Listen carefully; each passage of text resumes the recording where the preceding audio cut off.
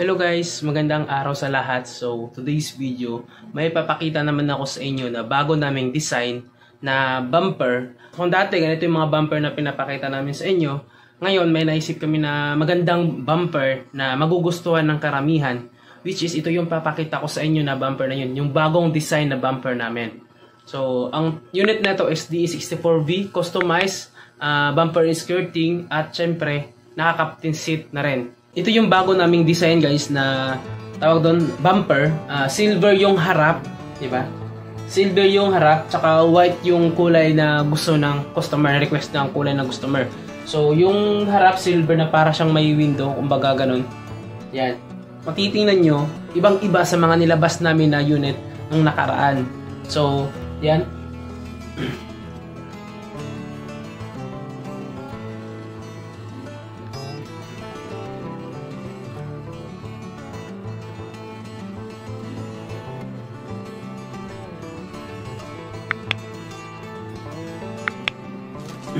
Siyempre tinted, napaka-tinted ng ano niya guys. Yung yung window niya. Ayun.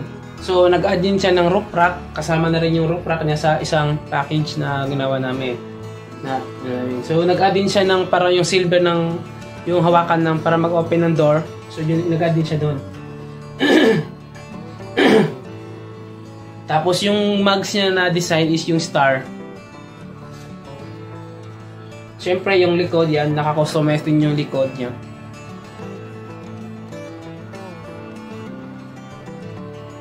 Ayun, yan yung gulong niya guys.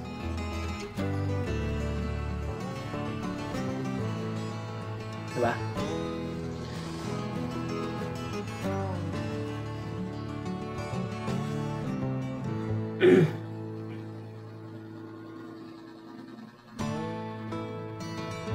So sa, sa gilid, na, sa, sa window niya, may silver na nilagay niya doon.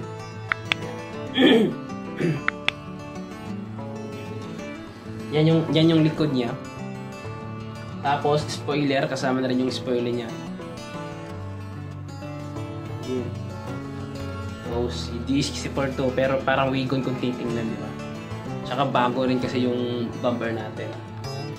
Siyempre, bubuksan natin yan. Suzuki nga pala brand nito at saka automatic. Ayun, nag-add din siya ng mini fan sa taas para yung aircon ba para mapunta sa likod. Although malakas naman ang aircon nito pero gusto pa na talaga na pag maraming sakay gusto nila na mas malakas pa yung aircon. Sa yung upholstery niya um, design may ano siya black sa har sa gitna Yun, yan yung tawag dashboard, touchscreen stereo.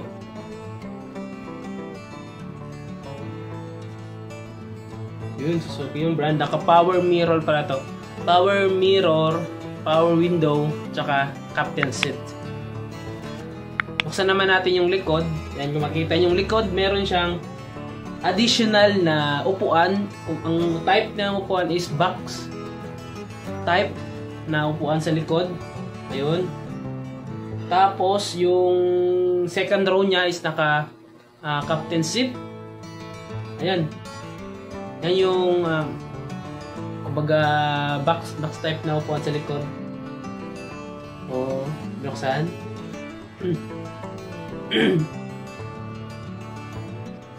so, pwede makasakay ng anim nito guys. Anim or ito depende sa kalakihan ng na sasakay. di ba? Ayos na ayos, di ba? So, waiting na lang po sa customer namin nito kasi i-release na po namin to today.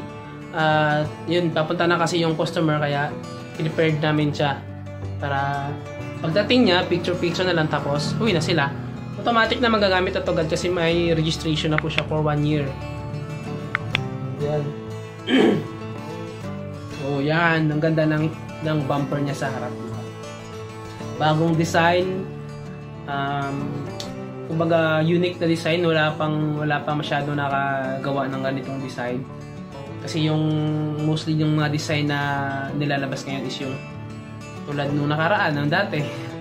Ganun yung mga design na nabas ngayon. Ito bago, bagong design na nabas. Yan, hindi ka malayo yan.